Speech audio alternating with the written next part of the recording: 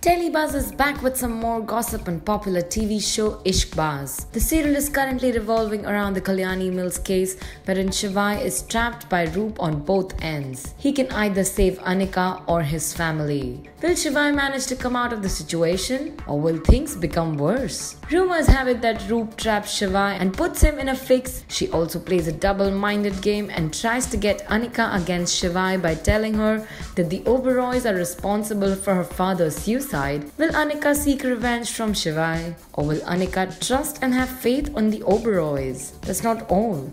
The serial will also have another twist wherein Pinky will be seen killing Roop to protect herself and her family. Will the Oberois survive this fatal attack of Roop or will Roop die? Or will Anika take revenge from the Oberois? Tell us what do you think about this exciting suspense and drama in Ishqbaaz.